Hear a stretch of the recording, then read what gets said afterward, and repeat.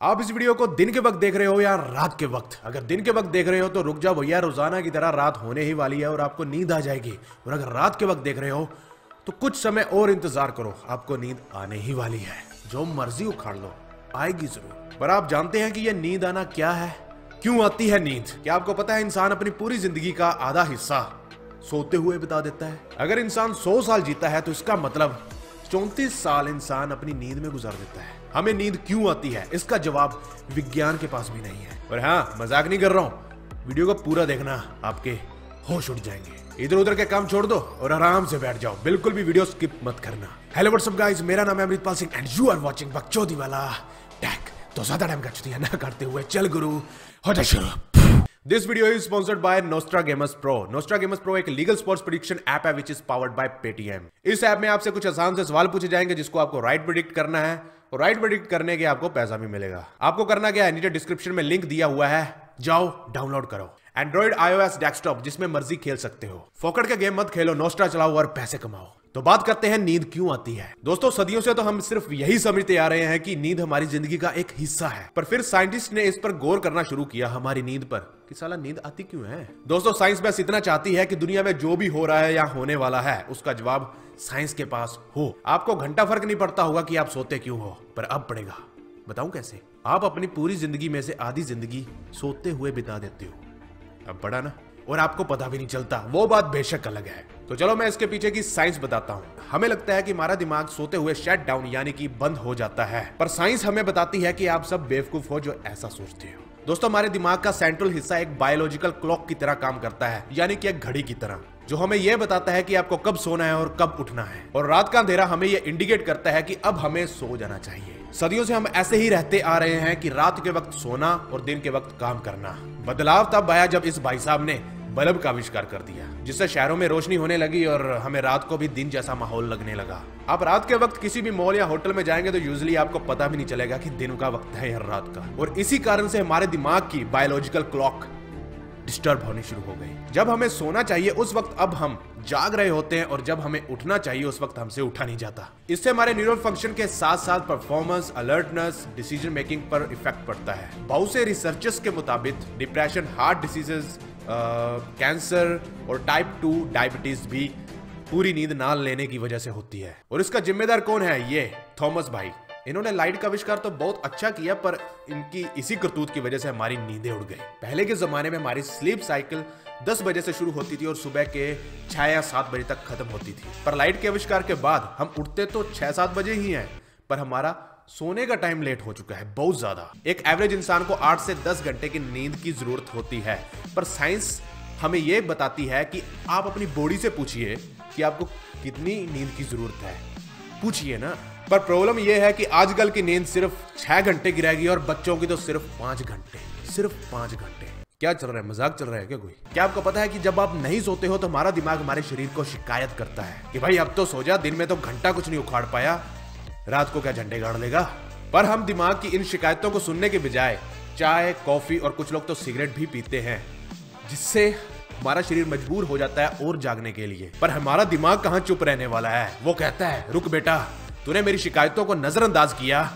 रुक, अब मैं तेरे साथ क्या करता हूँ? और फिर हमारा दिमाग हमें सजा देता है। और हमारा दिमाग हमारे शरीर को कई प्रकार की सजा देता है, जैसे कि सर दर्द, टेंशन, थकावट, शरीर का खराब हो जाना, फलाना ढिमकाना। शायरी अच्छी थी ना? तो भाई, अपने दिमाग से पंगा ना ले तो ही बेहतर है। दोस्तों, सोते वक्त हम अपनी एनर्जी को कुछ खास नहीं बचा रहे होते हैं। एक एवरेज सोता हुआ इंसान एक एवरेज जागते हुए इंसान के मुकाबले सिर्फ़ 100 कैलोरी ही बचा पाता है, जो कुछ खास नहीं है और इससे हमारे शरीर को कुछ घंटा फ़र्क नहीं पड़ता। सोते हुए हमारे शरीर का रिपेयर सिस्टम काम करता है, पर इसमें कौन सा बड़ी बात है? वो तो जागते वक्त भी करता है। एक सोते हुए इंसान का दिमाग उतना ही एक्टिव रहता है जितना कि जागते वक्त। मतलब हमारा दिमाग हमारे शरीर को तो सुला देता है, पर खुद जागता रहता है। क्यों भाई? हमने कौन सा पाप कर दिया? तो सवाल ये उठता है कि हम सोते क्यों हैं? हमारा दिमाग हमारे शरीर को क्यों सुला देता है? यार, कितना अच्छा होता है ना, हम चौबीसों घंटे जागते ही रहते तो हमारी दुनिया कहाँ से कहाँ पहुँच जाती है? खैर छोड़ो, हम सोते क्यों हैं? इसका जवाब तो साइंस के पास भी नहीं है, बस थ्योरीज है। मतलब अक्कड़ बक्कड़ बम्बे बो, अस्सी नब्बे पूरे सो। साइंस के पास तो बहुत सी थ्योरीज हैं, पर जो मेरी फेवरेट है, मैं उसके बारे में आपको बताऊँगा। Number one restoration and repair हमारी बॉडी नींद के दौरान खुद की मरम्मत करती है। ये सच है, पर झूठ भी, क्योंकि वही मरम्मत जागते वक्त भी होती है। हालाँकि सोते वक्त रेस्टोरेशन थोड़ी सी ज़्यादा होती है मतलब ना मात्र। पर सिर्फ़ थोड़ी सी ज़्यादा रेस्टोरेशन से हमारी ज़िंदगी का चौंतीस फ़ीसदी भाग खर्च हो जाता है। ये तो एक बेवकूफ़ी है ना। नंबर दो एनर्जी कंजर्वेशन ये भी सच है कि हम नींद के दौरान अपनी एनर्जी कम खर्च करते हैं। लेकिन ये भी हमने जाना कि एनर्जी इतनी ज़्यादा सेव नहीं होती है, जिसकी वजह से हम चौंतीस साल को, अपने चौंतीस साल को दाव पे लगा दें। इसका भी कोई सेंस नहीं बनता। नंबर तीन ब्रेन फ़ंक्शन हाँ ये कुछ अच्छा पॉइंट है। यूजली हमारा दिमाग बिल्कुल नॉर्मल होता है जब हम सो रहे होते हैं। और सोने के दौरान हमारा दिमाग दिन में की गई सारी एक्टिविटीज़ को रिवाइंड करता है और मेमोरीज को सॉलिड करता है। मतलब सोते हुए हमारा दिमाग दिन में हमने जो भी किया, क्या कुछ किया, वगैरह वगैरह, वो सभी चीज़ को रिवाइंड करता है। और सुबह क्या होने वाला है, उसके लिए हमें तैयार करता है। और कभी कभी तो हमें दिन के वक्त की गई एक्टिविटीज़ के सपने भी आते हैं। चलो, ये तो अच्छी बात है ना। पर रुको, इन सभी चीज़ों से हमें क्या सीखने को मिला? बता दूँ क्या? चलो, बता ही देता हूँ। इस भाई साहब की वजह से हमारी नींदें हराम हो चुकी हैं। ये खुद तो ऊपर चला गया और हमारी नींदें भी छीन के ले गया। पर मैं आपको कुछ टिप्स बता सकता हूँ, जिसकी वजह से आपको जल्दी नींद आएगी। आएगी। मज़ाक नहीं कर रहा हूँ। रात साढ़े आठ बजे के बाद अपने जितने भी लाइट्स हैं, अपने रूम की, बंद कर दो। कर दो। और अपने बाथरूम की लाइट भी बंद कर देना। आप रूम की लाइट तो बंद कर देते हो, पर आपकी बाथरूम की तेज लाइट आपको फिर से दोबारा जागने के लिए ट्रिक करती है। और रूम में लैपटॉप या मोबाइल यूज़ ना करें, क्योंकि उसकी लाइट भी आपके दिमाग को ट्रिक करती है और ज़्यादा जागने के लिए। और कोशिश करें, तकरीबन आठ घंटे तो आपको सोना ही है। पर पर पर। हम सोते क्यों है?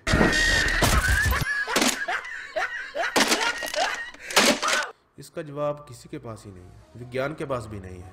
वैसे अभी भी इस पर रिसर्च चल रही है। पर जितनी भी थ्योरीज बनी है इस पर, वो मैं आपको बता चुका हूँ। और एक बात बता दूँ, एक बंदा है जिसका नाम है थाई नगोक जो पिछले 46 सालों से आज तक नहीं सोया। और मैं उस पर वीडियो भी बना चुका हूँ, आपको लिंक डिस्क्रिप्शन में मिल जाएगा या फिर कमेंट में पिन भी मिल जाएगा। चलो, आप बताइए, आप कितने दिन बिना सोए रह सकते हो? नीचे कमेंट में जल्दी बताओ जल्दी बताओ।